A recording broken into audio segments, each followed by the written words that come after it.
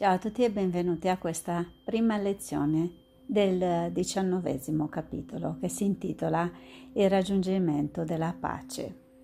Andiamo a vedere allora la prima lezione di questo capitolo che è intitolata Guarigione e fede e andiamo a vedere cosa ci dice oggi questa lezione, cosa ci dice oggi il corso a proposito di questa lezione.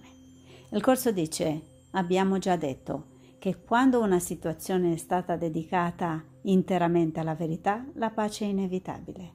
Il suo raggiungimento è il criterio col quale si può supporre con sicurezza che la dedizione è totale. Ma abbiamo anche detto che non si raggiungerà mai la pace senza la fede, perché ciò che viene dedicato alla verità come suo unico obiettivo è portato alla verità attraverso la fede questa fede abbraccia ogni persona coinvolta perché solo così la situazione viene percepita come significativa e nella sua interezza e tutti devono essere coinvolti o altrimenti la tua fede è limitata e la tua dedizione incompleta. Allora, visto il primo paragrafo, io farei un piccolissimo appunto. La fede, oltre tutte le spiegazioni e tutte le, le varie descrizione non è altro che il sapere, il conoscere. Quando tu sai, hai fede che sei sicuro di ciò che sai. Pensate che la scienza ha scoperto di recente che noi, con i nostri cinque sensi del corpo, vediamo soltanto il 4% della realtà, ok? E il 96% non lo possiamo vedere con i nostri occhi, ma lo possiamo percepire con il nostro spirito. Il nostro spirito sa tutto. Il nostro spirito, che è la nostra vera essenza, tu sei spirito, pura coscienza, sa già tutto, perché è connesso con tutto, è parte del tutto e sa che non ha nessun limite e nessuna mancanza, assolutamente. A vedere l'altro paragrafo. Ogni situazione percepita nella maniera corretta diventa un'opportunità per guarire il figlio di Dio. Ed egli viene guarito perché gli hai offerto la tua fede, affidandolo allo Spirito Santo e liberandolo da ogni pretesa che il tuo ego vorrebbe fargli soddisfare. Così lo vedi davvero libero ed è questa la visione che lo Spirito Santo condivide e dal momento che egli ha la condivide, la donata e così guarisce tramite tuo. Questo unirsi a lui in un intento comune rende reale questo scopo perché tu lo hai reso intero. Questa è la guarigione. Il corpo viene guarito perché sei venuto senza di esso e ti sei unita alla mente nella quale risiede ogni guarigione. Ci dice questo ultimo paragrafo, questa ultima riga, che siamo guariti e dice sei guarito quando vieni senza il tuo corpo. Cioè quando tu non ti associ più al tuo corpo, quando non ti vedi più come corpo, allora sei guarito. Quando tu inizi a vederti come non solo un corpo, ma che hai questo strumento, questo corpo è, è tuo in questo momento, ok? Allora inizi a guarire. Quando quando inizi a percepire che sei qualcosa di più.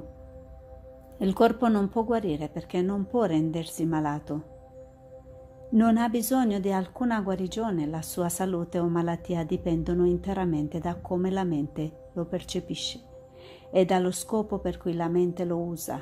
È ovvio che un segmento della mente può vedersi separato dallo scopo universale quando questo si verifica, il corpo diventa la sua arma usata contro questo scopo per dimostrare il fatto che si è verificata la separazione. Il corpo diventa così lo strumento dell'illusione e agisce di conseguenza. Vede quello che non c'è, sente ciò che la verità non ha mai detto e si comporta in modo folle, essendo imprigionato dalla follia. Allora, cosa ci dice questo paragrafo? Ci dice che praticamente la mente usa il corpo, ma non tutta la mente. Cosa dice? un segmento della tua mente, che sarebbe l'ego giustamente. Non trascurare la nostra precedente affermazione secondo cui l'assenza di fede porta diritto alle illusioni, perché la mancanza di fede è la percezione di un fratello come un corpo e il corpo non può essere usato per scopi di unione. Se dunque vedi tuo fratello come un corpo, hai stabilito una condizione nella quale unirti a lui diventa impossibile. La tua mancanza di fede nei suoi confronti ti ha separato da lui e ha impedito ad entrambi di essere guariti. La tua mancanza di fede si è quindi opposta allo scopo dello Spirito Santo e ha portato illusioni centrate sul corpo che si sono frapposte fra di voi e del corpo sembrerà essere malato perché ne hai fatto un nemico della guarigione e l'opposto della verità. Non può essere difficile rendersi conto che la fede deve essere l'opposto della mancanza di fede. Tuttavia la differenza su come operano è meno evidente, anche se deriva direttamente dalla differenza sostanziale di ciò che sono. La mancanza di fede limiterà ed attaccherà sempre. La fede eliminerà ogni limitazione e renderà interi. La mancanza di fede distruggerà e separerà. La fede unirà e guarirà. La mancanza di fede interporrà le illusioni tra il figlio di Dio e il suo creatore. La fede eliminerà ogni ostacolo che sembrerà emergere tra di loro. La mancanza di fede è totalmente dedicata alle illusioni, la fede alla verità. La dedizione parziale è impossibile, la verità è l'assenza dell'illusione, l'illusione l'assenza della verità. Non è possibile che ci siano entrambe, né che siano percepite nello stesso posto. Dedicarti a entrambi significa stabilire un obiettivo che non potrà mai essere raggiunto, perché parte di esso viene ricercato attraverso il corpo, concepito come mezzo per cercare la verità attraverso l'attacco. L'altra parte vuole guarire e pertanto invita la mente e non il corpo. Il compromesso inevitabile è il credere che sia il corpo e non la mente a dover essere guarito, perché questo obiettivo diviso ha dato ad entrambi un'uguale realtà che sarebbe possibile solo se la mente fosse limitata al corpo e divisa in piccole parti apparentemente intere, ma senza collegamento fra loro. Questo non danneggerà il corpo, ma manterrà nella mente il sistema di pensiero delirante. È qui dunque che c'è bisogno di guarigione ed è qui che si trova la guarigione, perché Dio non ha dato la guarigione separata dalla malattia e non ha stabilito un rimedio dove non può esserci malattia. Esse stanno insieme e quando vengono viste insieme ogni tentativo di mantenere sia la verità che l'illusione nella mente, dove entrambe devono essere, viene vista come dedizione all'illusione. Quando viene portata la verità, vi si rinuncia e viene visto come totalmente inconciliabile con la verità, sotto ogni aspetto o in ogni modo. Verità ed illusione non hanno alcun collegamento. Questo rimarrà vero per sempre, indipendentemente da quanto tu cerchi di collegarli. Ma le illusioni sono sempre collegate, come lo è la verità. Ciascuna è unita, un sistema di pensiero completo, ma è totalmente sconnesso dall'altra.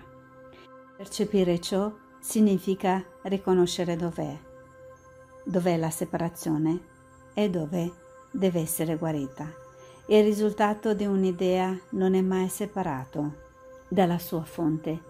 L'idea della separazione ha prodotto il corpo e rimane collegato ad esso, rendendolo malato a causa dell'identificazione della mente con esso. Tu pensi di proteggere il corpo nascondendo questo collegamento perché questo occultamento sembra mantenere la tua identificazione al sicuro dall'attacco della verità. Se tu soltanto capissi quanto questo strano occultamento abbia danneggiato la tua mente e come, a causa sua, sia diventata confusa la tua identificazione. Tu non vedi quanto è enorme la devastazione operata dalla tua mancanza di fede, perché la mancanza di fede è un attacco che sembra essere giustificata dai suoi risultati, perché se non offri la fede, vedi ciò che ne è indegno e non puoi guardare oltre la barriera, ciò che è unito a te. Aver fede e guarire è il segno che hai accettato l'espiazione per te e che pertanto la condividerai. Attraverso la fede offri il dono della libertà dal passato che tu hai ricevuto. Non usi nulla di ciò che tuo fratello ha fatto in precedenza per condannarlo ora. Scegli liberamente di guardare al di là dei suoi errori, guardando oltre tutte le barriere che si frappone tra te e lui e vedendole come una cosa sola. Ed in questa sola vedi che la tua fede è pienamente giustificata. Non c'è giustificazione alla mancanza di fede, mentre la fede è sempre giustificata. La fede è l'opposto della paura, in quanto è parte dell'amore, come la paura lo è dell'attacco. Fede è il riconoscimento dell'unione, è il grazioso riconoscimento di chiunque, come figlio del tuo amorevolissimo Padre, amato da Lui come te e pertanto amato da te come te stesso. È il suo amore che unisce te e tuo fratello e per il suo amore non manterrai nessuno separato dal tuo. Ciascuno appare proprio come viene percepito nell'istante santo, unito nel tuo scopo di essere liberato dalla colpa. Tu vedi Cristo in lui ed egli viene guarito perché tu vedi ciò che giustifica per sempre la fede in tutti. La fede è il dono di Dio attraverso colui che Dio ti ha dato. La mancanza di fede vede il figlio di Dio e lo giudica indegno di perdono. Ma attraverso gli occhi della fede il figlio di Dio viene visto già perdonato, libero da ogni colpa che hai posto su se stesso. La fede lo vede solo ora perché non guarda il passato per giudicarlo, ma vede in lui solo ciò che vede in te. Non vede con gli occhi del corpo, né guarda i corpi per giustificarsi. È la messaggera della nuova percezione inviata per raccogliere testimonianza della sua venuta e per riportare a te i loro messaggi. La fede può essere facilmente cambiata in conoscenza, come il mondo reale, perché la fede nasce dalla percezione dello Spirito Santo ed è il segno che la condividi con Lui. La fede è un dono che offre al Figlio di Dio attraverso di Lui ed è interamente accettabile da suo Padre come da Lui e quindi ti viene offerta. La tua relazione santa con il suo nuovo scopo ti offre la fede perché tu la dia a tuo fratello. La tua mancanza di fede vi ha separati e così non riconosci la salvezza in Lui. Tuttavia la fede vi unisce nella santità che vedi non attraverso gli occhi del corpo, ma con la vista di colui che vi ha uniti e nel quale siete uniti. La grazia non viene data a un corpo, ma ad una mente, e la mente che la riceve guarda istantaneamente oltre il corpo e vede il luogo santo dove è stata guarita. Lì è l'altare dove è stata data la grazia e nel quale risiede. Offri quindi grazia e benedizione a tuo fratello, poiché sei davanti allo stesso altare dove la grazia è stata riposta per entrambi e siete guariti insieme dalla grazia perché possiate guarire attraverso la fede. Nell'istante santo tu e tuo fratello siete davanti all'altare che Dio ha elevato a se stesso e a voi due. Mettete da parte la mancanza di fede e venite adesso insieme. Lì vedrai il miracolo della tua relazione come è stata nuovamente fatta attraverso la fede ed è lì che ti renderai conto che non c'è nulla che la fede non possa perdonare. Nessun errore interferisce con la sua visione calma che porta al miracolo della guarigione con uguale facilità a tutti loro, perché i messaggeri dell'amore fanno ciò che sono mandati a fare riportando la lieta novella che la guarigione è avvenuta in te e in tuo fratello, che state insieme davanti all'altare, dal quale sono stati inviati. Così come la mancanza di fede manterrà i vostri piccoli regni vuoti separati, così la fede aiuterà lo Spirito Santo a preparare il terreno per il santissimo giardino che egli ne farà, perché la fede porta pace e così fa appello alla verità perché vi entri e renda amorevole ciò che era già stato preparato per l'amorevolezza. La verità segue la fede e la pace, completando il processo di rendere amorevole ciò che essi iniziano, perché la fede è ancora un obiettivo di apprendimento del quale non c'è più bisogno nel momento in cui la lezione è stata presa, ma la verità resterà per sempre. Fa dunque che la tua dedizione sia rivolta a ciò che è eterno e impara a non interferire con essa e a non renderla schiava del tempo. Perché ciò che pensi di fare a ciò che è eterno lo fai a te. Colui che Dio ha creato come suo figlio non è schiavo di nulla, essendo il Signore di tutto, insieme al suo creatore. Tu puoi rendere schiavo un corpo, ma un'idea è libera, incapace di essere tenuta in prigione o limitata in alcun modo eccetto che è della mente che l'ha posta, perché rimane congiunta alla sua fonte. Ne è il carceriere o il liberatore a seconda di cosa sceglie come suo scopo per se stesso. Ed eccoci qui che siamo arrivati alla fine di questa prima lezione sulla fede. Io mi fermo qui, vi auguro una bellissima giornata e vi aspetto con la prossima lezione. Ciao a tutti e a tutti voi, una bellissima giornata.